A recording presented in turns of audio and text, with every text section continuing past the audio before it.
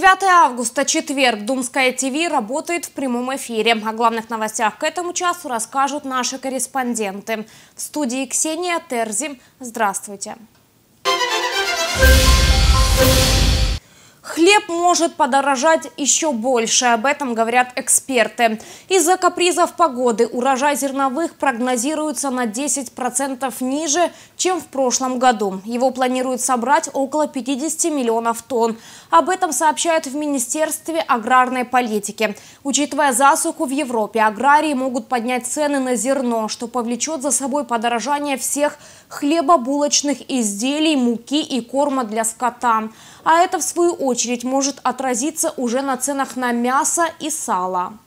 На зовнішніх ринках буде не вистачати зернових, зернових, а це буде провокувати подорожчання зерна.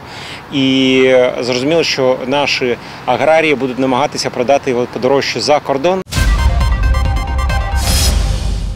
Движение по Ицхака Рабина частично ограничат. С вечера пятницы на участке от генерала Петрова до Инглези будут проводить ремонт. Число полос для авто уменьшится почти вдвое, с пяти до трех. Две в сторону генерала Петрова, одна в сторону Инглези. Кроме того, перестанет ходить десятый трамвай. По его маршруту пустят дополнительные автобусы. Всех льготников будут перевозить бесплатно. Остальным пассажирам придется выкладывать по 7 гривен вместо привычных трех. Изменения связаны с ремонтом трамвайного переезда. Он продлится не более двух недель, обещают чиновники.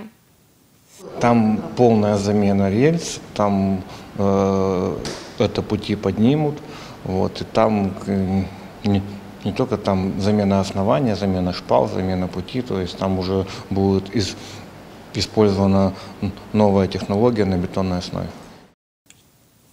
Напомню, сейчас приостановлено движение 11-го троллейбуса из-за ремонта на Сигетской. По этой же причине изменен маршрут 10-го троллейбуса и ряда маршруток.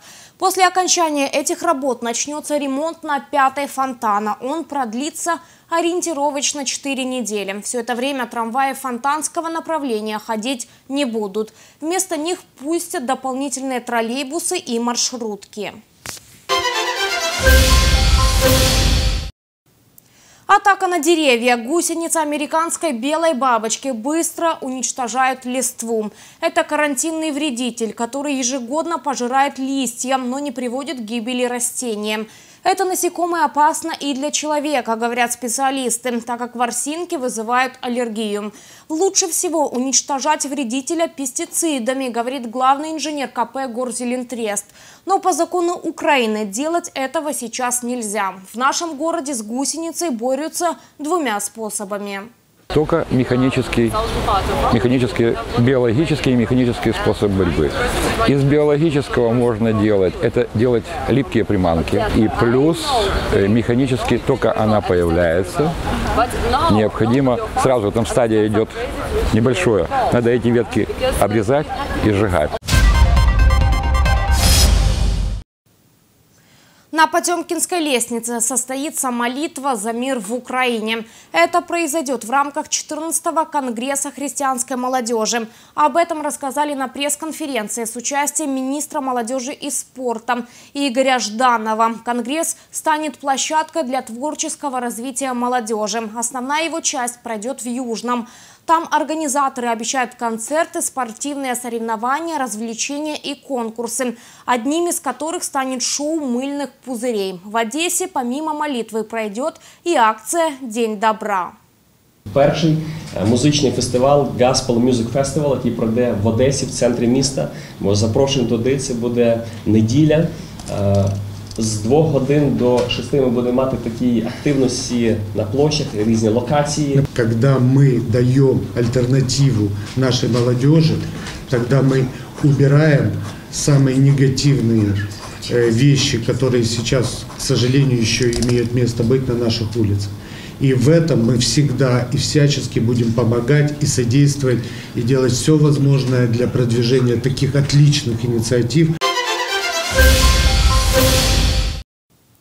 В Одессе стартовала международная регата Black Sea Championship. Это первые соревнования за период независимости Украины, которые пройдут сразу в трех странах. О том, как отправлялись одесские спортсмены и через что им придется пройти в сюжете Дианы Федотовой. Прямо сейчас стартовала международная регата крейсерско-гоночных яхт.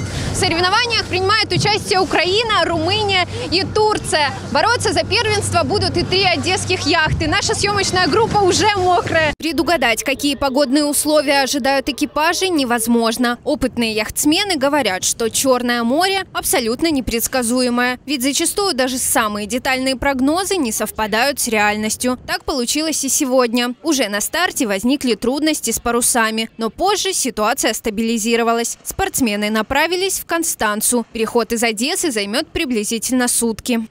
Четыре, три, две, одна, оп!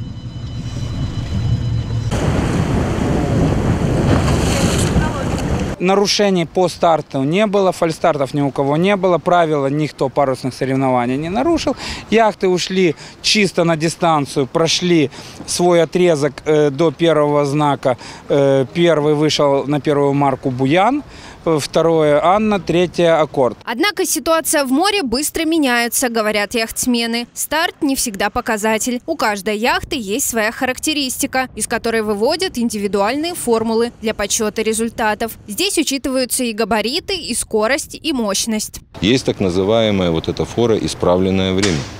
И вот после того, когда на финиш придет последняя яхта, после того, как все будет пересчитано, и будет определен победитель. Бывает так, что э, яхта, пришедшая последняя, оказывается победителем. На разных этапах гонки примут участие до 100 яхт с разными характеристиками. Самой ожидаемой стала борьба в акватории Босфора. Там главный соперник спортсменов – сильное течение. Усложнится соревнование и проплывающими мимо небольшими судами. 18 будет красивая, интересная гонка э, совместно с турецкими яхтсменами по проливу Босфор. То есть на это время закрывается движение больших кораблей по проливу, и яхтсмены э, будут передвигаться по Босфор отдается полностью во власть парусов. Отслеживать движение парусников продолжат уже дистанционно с помощью GPS. А награждение лучших спортсменов состоится 18 августа в Стамбуле. Возвращаться одесситы планируют также в гоночном режиме. Новых побед и удачи украинским яхтсменам желает Диана Федотова, Евгений Войтенко и вся команда Думской ТВ. Это все новости на данный момент. Оставайтесь на Думской ТВ, будет интересно.